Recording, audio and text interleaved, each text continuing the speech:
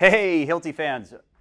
Thank you for joining us today. Welcome to our next episode of Hilti Live. My name is Derek Mann, and I'm a marketing manager here for Hilti North America. I'm going to show you a couple tools today, but we're going to give everybody a couple minutes to join. And as we're waiting for that, I'm going to have I have an assistant today, and I'm going to have Joe introduce himself while I'm grabbing a couple more tools, and then we'll get started. Hey everyone, my name is Joe Walsh. I am a Hilti store rep in the Beltsville Hilti store here in Maryland. I've been a store rep for about 11 months now. Uh, I am in the ALP program and I graduated from Penn State uh, back in May. Uh, what I like about Hilti is really about the work culture. Uh, everyone's very nice here and very energetic, and the fact that Hilti is always innovating with their tools and coming out with new stuff. Thank you, Joe. And I also here today, so I'm actually I'm on location today. I am in one of our 100 Hilti stores in North America. I am in Beltsville, Maryland. I actually behind the camera, I have Cam and Isaac helping me. Um, so it's not just Joe here, but Joe's going to do the demos for us while we go. We break some concrete here in a bit. So uh, while we get started, we're going to talk first about the TE2000. Then we're going to talk a little bit about the VC140, and then we're going to finish off our discussion with the DSH600.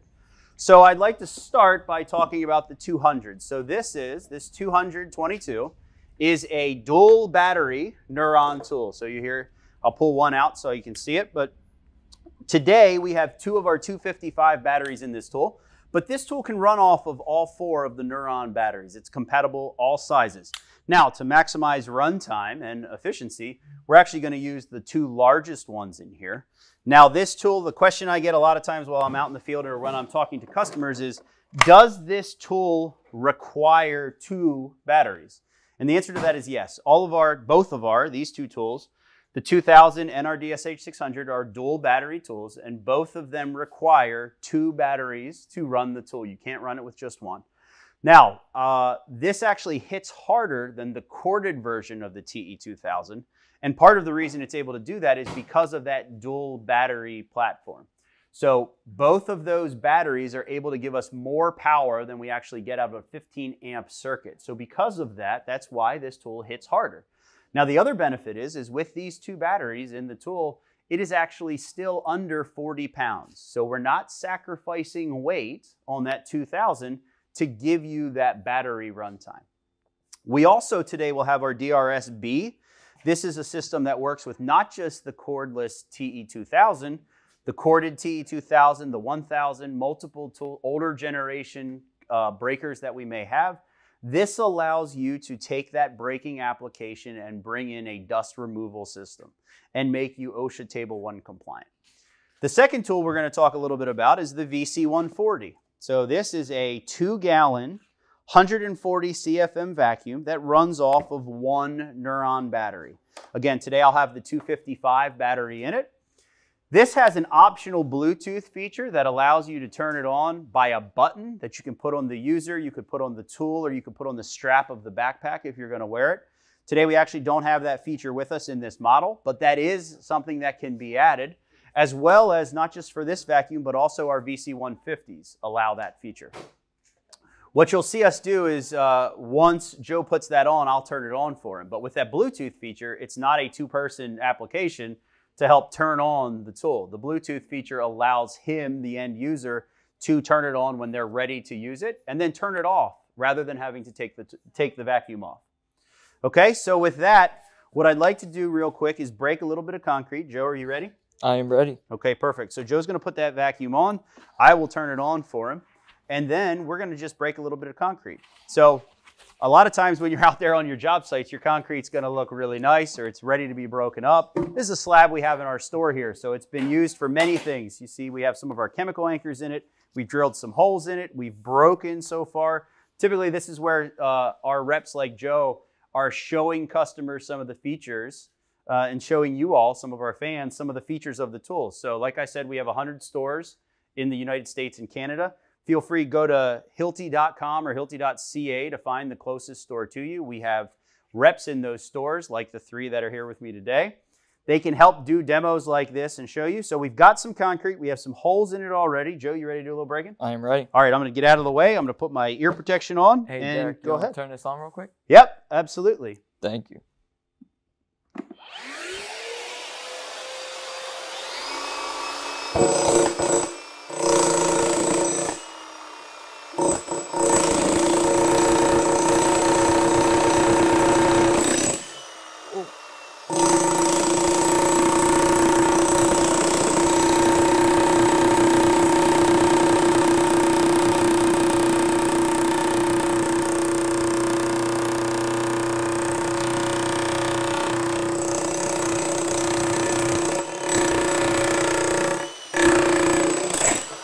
All right. Nice. Go ahead, I'll turn you off. So great job. So as Joe comes down and jumps down here, we'll talk about a couple things. So if you noticed as he was going, that DRSB was collecting the dust that came out as we began to break there. It sucks it right up through the opening of the DRSB. We also were using our narrow, flat wave chisel, which actually has grooves in it that allows you to get stuck less often in concrete. So there, Joe was able to go right through. Now, Joe, let's talk. Let's talk about feelings. How did the tool work? How did you feel while using that tool? The tool is very light. Um, it doesn't have a lot of vibration to it, and it kind you kind of just let the tool do the work, and it kind of showed for itself here. Okay. And then how about the vacuum? Was that heavy? To, was it heavy? Was it loud in your ears or things like that? The vacuum wasn't too loud, and it's not very heavy. Kind of reminded me just carrying a couple book bag, a couple books around in a book bag around school.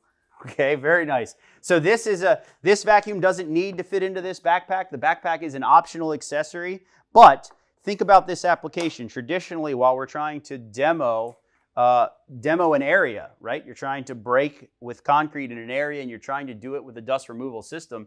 You currently are using one set of cords to run the tool and one set of cords to run the vacuum. Well, right now, what we do is we don't eliminate one of those cords, we eliminate both cords. We bring you a fully cordless system and give it OSHA Table 1 compliant dust removal. Okay? So that's awesome. So great job, Joe. Thank you for showing that. Now what we're going to do, I'm, Joe, I'm going to give you a, I'm going to give you one of these. I'll actually give you the lighter one. So now we're going to highlight the DSH 600. So today, unfortunately, since I was traveling to get here, I don't have the water hookup ready to go. So we aren't going to cut inside here. But I will talk a little bit about this tool, some of the features, and I will uh, run it so you can hear how quiet it actually is compared to a gas saw. So we do have onboard water here, right? And later this year we will have a water tank on Nuron that will allow you to run uh, pressurized water through this tool off of a battery. So you don't have to worry about running water from another source that needs someone or something actually running it. It will run off of a battery. That hooks directly into this tool and it runs right through and gives you water onto the blade itself. Now the other thing, this blade, this setup here I have to maximize performance. I have two 255 batteries in it.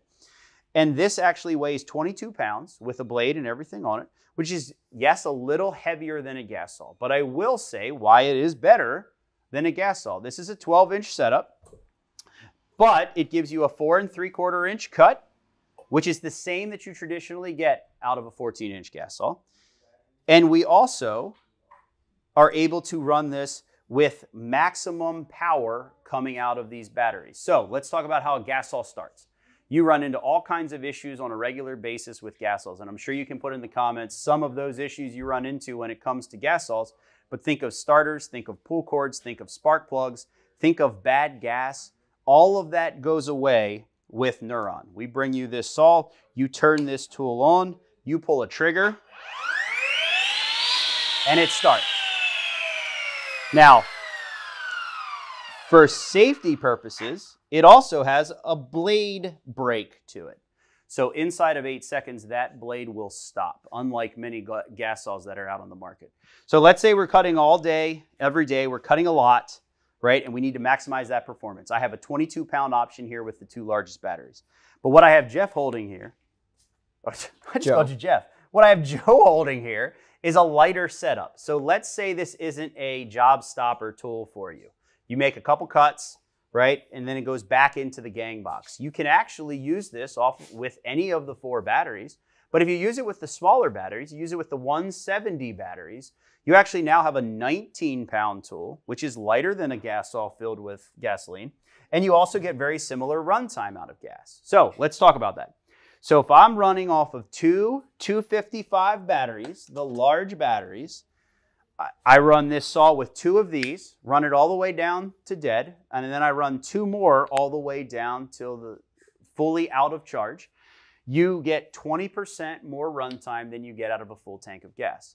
Now with that 170, traditionally what we see with the same four battery setup, so two 170 batteries run all the way down, two more 170 batteries run all the way down, you are getting the same amount of performance and runtime that you would get out of a traditional gas. Okay, so depending on what's most important to you, runtime and performance, so the longevity of it, or the weight, we have an option that can work really well for you in Nuron. So the last thing, you can go ahead and put that down. Thank you, sir. And I didn't mean to call you Jeff. That was totally accidental. So I wouldn't be doing these three justice that helped me out today if I didn't take a moment to talk about this last little feature that I really love about Nuron. So I have the ability to go around, I cover the East Coast, I go around and talk to a lot of customers, and I'm able to show them things. But I also want to take a chance to make sure I make the life easier for some of our Hilti people. So this battery, what we've added into Nuron is something that is first in the industry. So we actually, anytime you have a battery that you feel isn't performing the way it should, we now have the ability to check that. And I don't mean we as in Hilti, I mean we as in the person using the actual battery. So while you're holding this battery, you actually can just hold this button down and this will run a diagnostic on the battery itself. So three second hold, and you actually will run back and it will tell you whether this battery is working the way it should. So I have a green light here. That means I have an optimal battery. It means I'm good. But if that light would have been yellow, that means it's either too cold or it's too hot, and you need to adjust and allow that battery time to either get into a working range from either being too hot or too cold. Now, here's the part that's really fun. Red. If you get a red light, that means your battery is no longer optimal. And at Hilti, we are all about productivity. So we, mean, we know we don't want that battery out there being used because it's not productive for you anymore. So if you are a fleet and on-track customer, we will actually proactively replace that battery for you. So we would send you an email and tell you that this battery is not working the way it should. Here is a new one coming your way, and there's a return label for you to send us this one back so we can properly recycle it because it's not working like it should. Now, let's say, for example, you purchase tools from us and you're under our 22 in 1 warranty. So for two years, we cover all wear and tear on all tool, battery, and charger. So if that's the case and you run into a scenario when you run that diagnostic that you have a red light, you actually use your smartphone and the Hilti app, hit the back of the phone onto the battery, and you do a couple more steps. You actually can have that battery sent to you seamlessly, but you do a little bit of work. So for our fleet and on-track customers, we do it for you.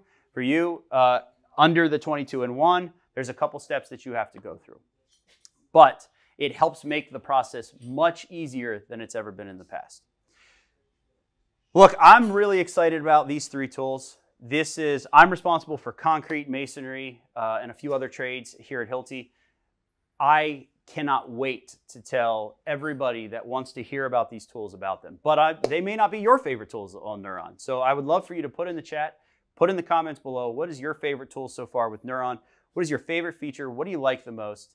Um, we use all kinds of customer touch points like this, uh, all kinds of feedback from you to help our next generation and things that will be coming out, improvements we can make. So go ahead, give us your honest opinions, give us your feedback, let us know, and we will get back to you. Okay, so with that, my name's Derek Mann. I'm one of the marketing managers here in, in Hilti North America, and I'm gonna sign off for Hilti Live this week. Joe, I really want to help you for doing that. Thank you for doing all the heavy lifting. I know you said it wasn't that mm-hmm. heavy, but you did do all this, so I appreciate it. And with that, I will say goodbye to everybody. So thanks, and I hope you will join us again in two weeks for our next Hilti Live session.